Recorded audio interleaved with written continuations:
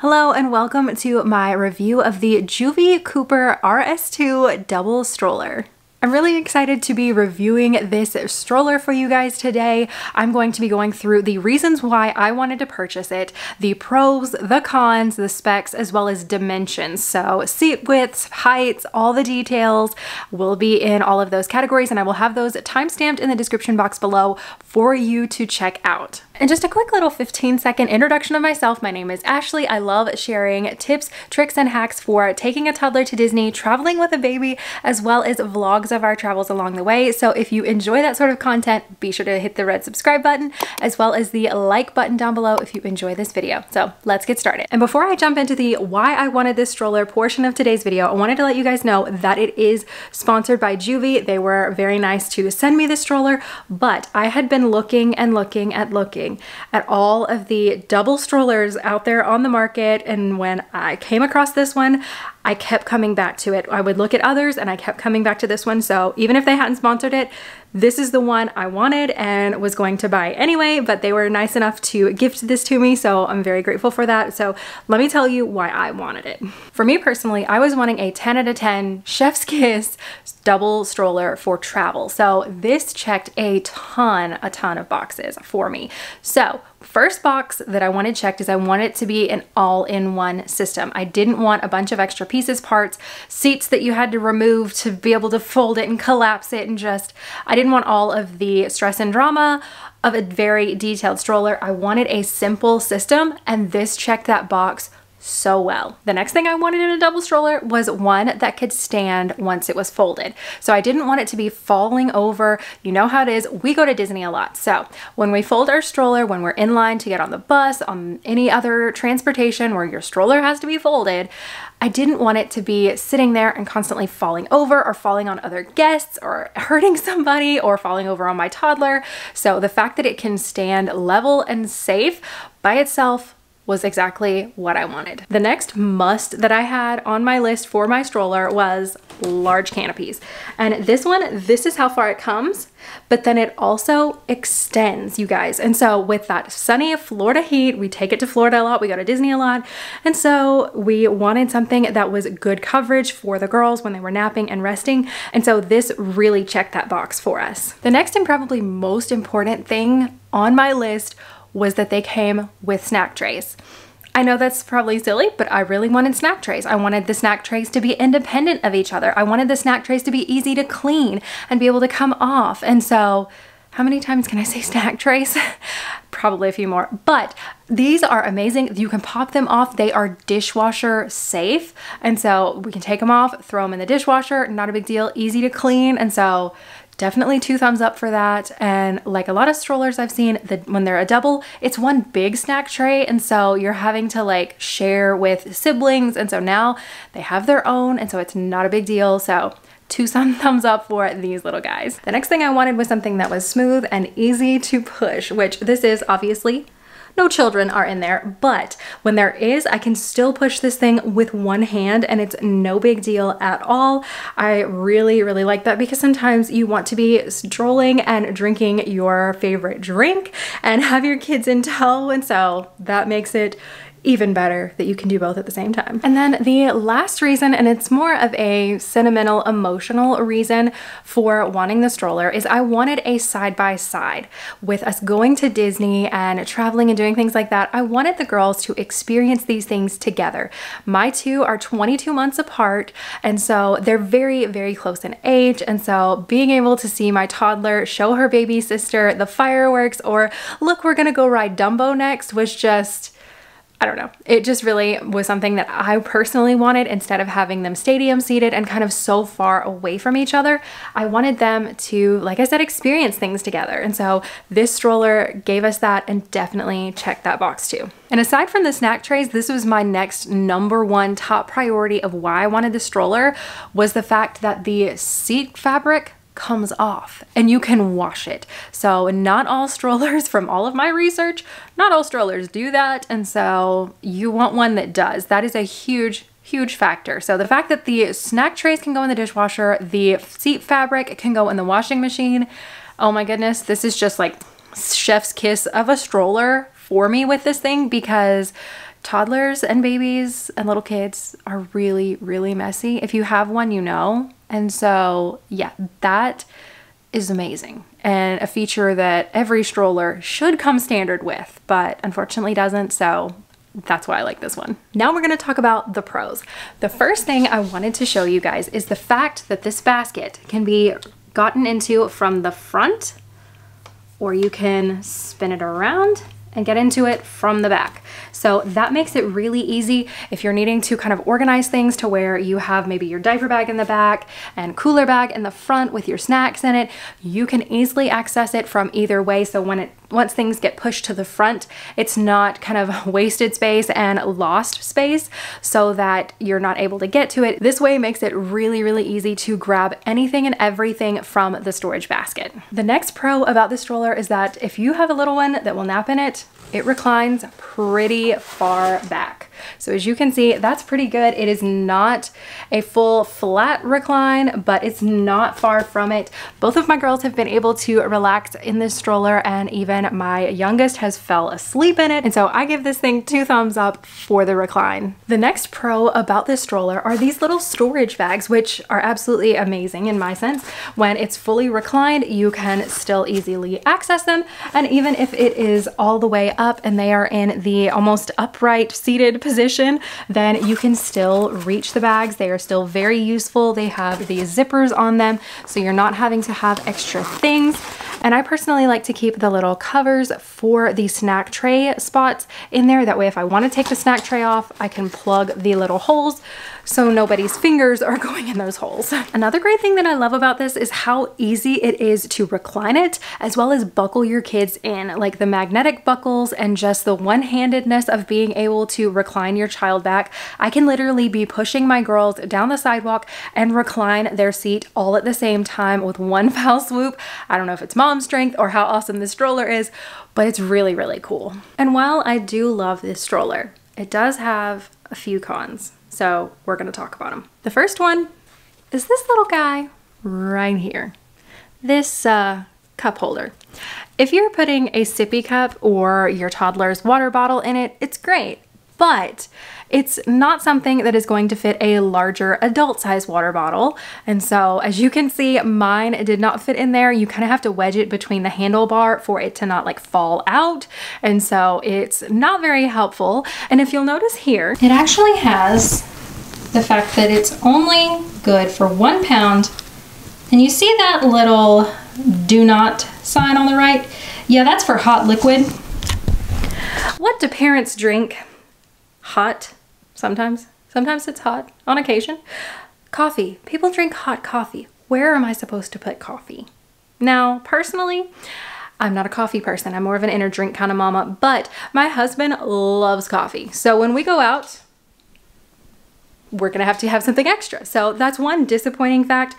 And I wish Joovy would have done a little bit better on that because they know parents thrive on coffee. We need it. People need it to be energized and fueled and deal with the day because we didn't get a lot of sleep last night. So that's one thing that could be better. The next thing, and while I understand why it's not, it's still a little frustrating and would make the whole storage basket situation a whole lot better.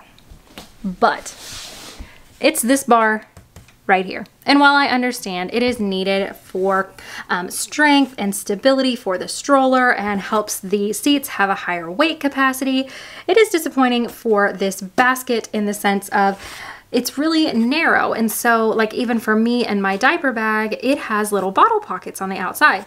I have to take the bottles out of the pockets so it will actually fit into one side of this stroller undercarriage here. So when it comes to that, that is a little disappointed. Again, I understand why, because it needs this stability, but still, it's kind of a bummer. And the next con on the list is the buckle. While yes, it's easy and it's amazing and it's one of the reasons I love this stroller, but we had one little incident where my toddler, who is two and a half, unbuckled herself because it's really easy. And if they can figure out this little thing here. Then they can come apart. These are just magnetized. So it's right apart, just like that. And while that was one incident and she's not done it since, knowing that she figured it out once kind of leaves me to believe that if an older child was in this, say you had somebody that was closer to that 50 pound weight limit that was an older toddler, they could be unbuckled and climbing out of this thing potentially easy. So just something to note. It may just be my toddler and yours may be fine. I don't know. And it may have been a fluke thing, but I did want to mention it in case that was on anybody's mind. The next thing is one of the stroller's features, but I personally can't do it. And it's the one hand fold. Now my husband, he can do it no problem. I don't have that upper body strength and arm strength. I'm getting better and it's getting easier, but straight out of the box, I couldn't do it at all. Like it literally took two hands for me to collapse the stroller. As we've used it, it's kind of gotten a little bit easier and sometimes I can do it with one hand and sometimes I can't do it with one hand, but just to note, if it comes out of the box and you can't do it either, welcome to the club.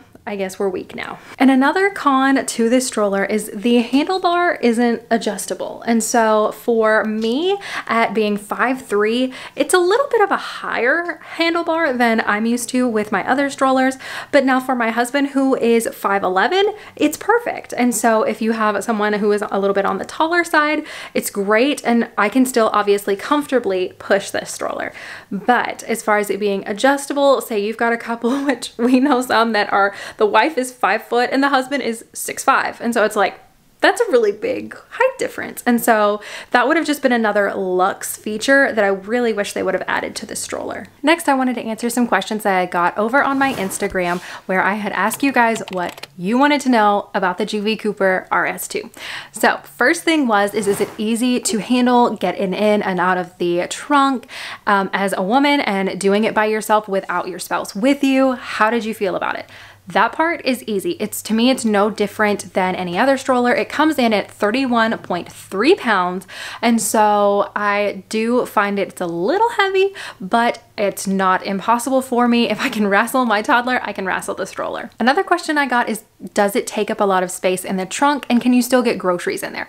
Now, here is a little bit of footage of a Jeep Compass that I am currently using as a rental car while mine's being fixed, but you can see it takes up quite a bit of room in this kind of smaller SUV category, but it's not impossible. You can see the side there. I can definitely still get groceries in. And then this is my husband's hatchback. And so you can see it takes up a lot of room and it's kind of a tight squeeze, but it does work. It does fit less room in here for things, but again, it does fit in the trunk. And then last but not least, this is a traditional sedan with a trunk. It's a Chevy Cruze.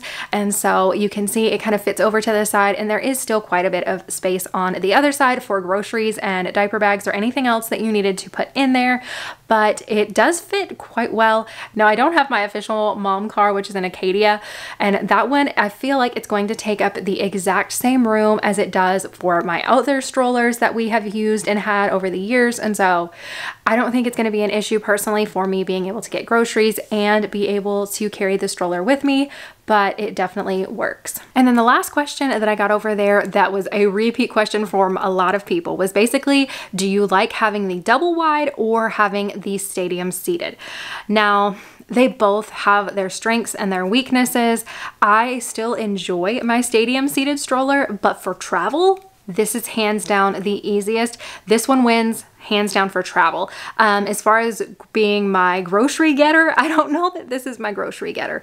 Um, my other one would probably be that instead. It does, it's easier to use and stuff like that when you're shopping. It's being narrow. It is easier to get down aisles and past other people in their shopping carts and things like that. So I do find it a bit easier where with this one, um, there were times when we took it shopping that it was a little bit of a tight squeeze when you have people with shopping carts and stuff like that that. And with my other stroller, I could have made it through with no problem. So that's just something to note, but I do really, really like this. And for me, hands down, best travel stroller. Now I wanna go through some dimensions about the stroller. Now I have my handy dandy phone here with all of that on it. Some of these are from Joovy and then some of them I personally took because they weren't listed on the website. When it comes to the height of the stroller, it comes in at 42.7 inches. Now that is from the ground to the top of the handlebar there at the stroller. And so that's what gets you your 42.7 inches. And then as far as the depth of the stroller, that is 35 inches.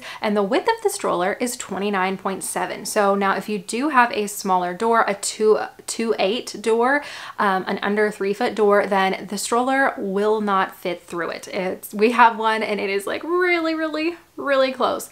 So unfortunately I can't get my girls in the stroller loaded up and then go out our back door because it's not large enough. But if you have a larger three foot door, it will easily fit through it. Now when it comes to dimensions, I am a Disney mom and so this is an important factor to me. This is Disney approved. So you can take it to Disney World or Disneyland with no issues whatsoever. I know they have size requirements for their stroller, but this one fits. Now we're talking seat measurements. The seat back itself from the very base to the very top is 19 inches.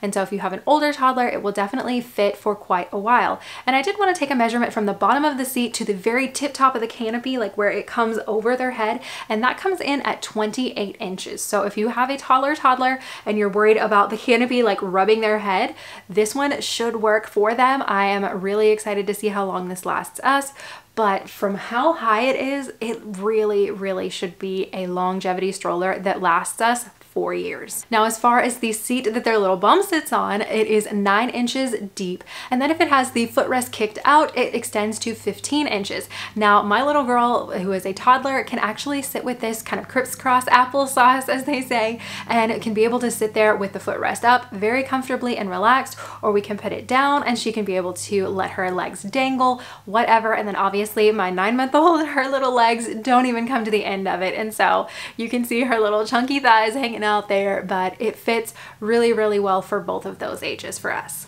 Now, when it comes to the seat width, that comes in at 11 inches. So a nice, pretty wide seat for most double strollers. And so it can definitely accommodate a larger toddler. And then last but not least with the basket, the dimensions on it are for each side. It's 11 inches wide and 22 inches deep. Now, obviously if it was one large basket and it didn't have the divider in between of the bars and brackets and everything, it would have been a much larger measurement, but between the brackets, it's 11 inches and 22 in depth. And here are a few of my favorite specs about this stroller. The first one being the seats and the weight capacity. Each seat boasts a 50 pound capacity. So that's 100 total, but 50 in each seat for each little one. So that will last you quite a while and for quite a few years. The wheels themselves are freaking amazing. They're non-puncture wheels, so they're not air like wheels, so they're not going to get messed up if you're using them on city streets and something sharp kind of pokes them. You cannot slash them or break them in any way, so that is amazing. The front wheel is a seven inch wheel and then the rear wheel is a nine inch wheel. And from personal experience, that, I don't know what it is about that little magical combination, but it makes pushing this thing like a dream over bumps and little train tracks and all kinds of things. It's just smooth and glides along things that I thought it would have trouble going over and I was like kind of bracing myself for it went over no problem. Like I could have one-handed pushed over some of these things with no issue. So that's amazing. Another great thing is that the fabric itself is made out of 100% recycled fabrics and then the nice leather handlebar that you're pushing, which is so luxurious looking and just feels amazing to your hands. But it is a 100% full grain leather handlebar. So that is really nice. It feels, again, amazing. And so I love it. It gives it that luxe feel, having the leather type look to it. So it's really cool. And then another detail about the stroller is the footrests are actually three position footrests. So you've got the flat here, like I talked about earlier, where it's that 15 inches. And then there's buttons on either side here. So you push those in, it is two hands, but it goes down to this angle which is kind of inclined there. And then it will go to where it is straight down. So if you have an older toddler that their legs want to come down and their feet rest on the little foot bar here down below, they can 100% do that. So whatever phase your little one is in, it definitely will have the right foot rest for them. And then another great feature, and I kind of talked about this a little bit earlier, but the canopies are amazing. They're very large, but they're also extendable. As you can see here, they have a nice little zipper feature, so you can zip it wide open and it extends even further to give you more coverage over that sweet little baby skin. And then the last two fun features that I really like is the fact that the canopies have these little peekaboo windows, so when you're pushing them, if they are in there and they're bickering or they're playing and you want to see that cuteness, whatever is going on under those canopies, you can see it as a parent. So they've got those little parent windows that are really, really handy. And then the last feature that I wanted to point out is the one step foot brake. Literally, you just push it forward to engage it and back to disengage it, and you're ready to roll. And so it makes it super, super easy to use. And that's gonna do it for my review of the Joovy Kooper RS2. If you are interested in purchasing one, I will have my link down in the description box below for you guys to check out. It is an affiliate link, so I do make a small commission, but you aren't charged any extra or more than normal, so be sure to use that if you don't mind. And if you enjoyed the video, be sure to hit the thumbs up button and the red subscribe button. And thank you again to to Joovy for sponsoring today's video, but I will see you guys right back here with another one next time. Bye guys, have a great week.